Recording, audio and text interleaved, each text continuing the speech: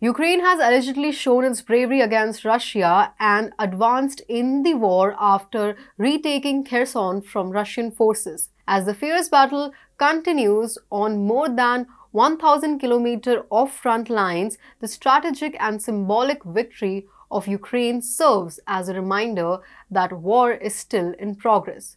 However, as the Ukrainian forces are celebrating and dancing in Kherson, Russia once again has put Ukraine in a tough position. Russia's new ransomware is making Ukrainian officials really nervous. In a recent event, a software strike by Russia caught Ukraine off guard.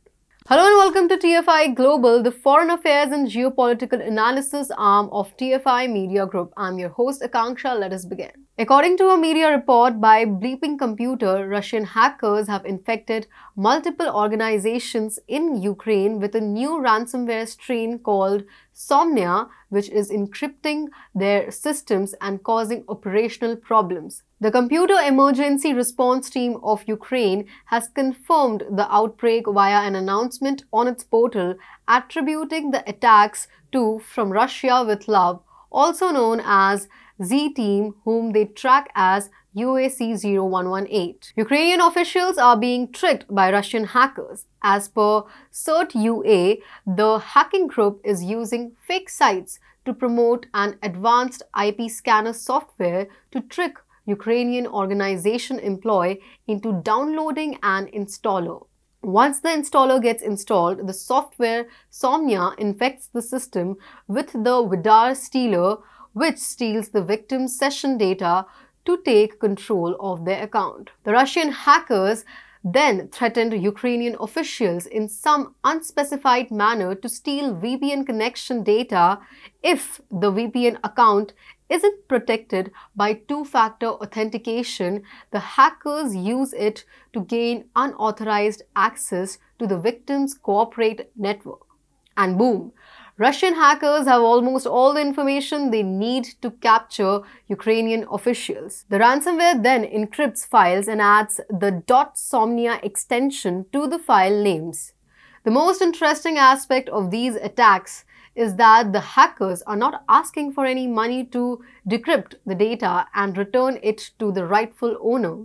The data is simply being logged by the hacker, making Ukrainians suffer to perform important wartime functions.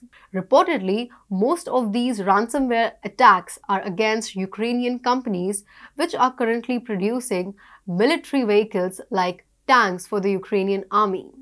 The CERT has also posted evidence of attacks against tank producers in Ukraine. For the unaware, Ukraine only manufactures tanks in the name of military hardware.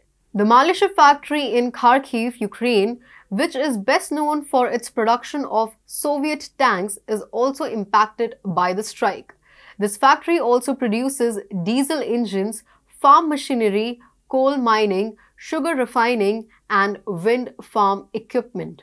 Furthermore, it is highly likely that the Ukrainian energy sector is also being targeted by the ransomware attack because similar cyber attacks have also taken place in 2015 and 2017.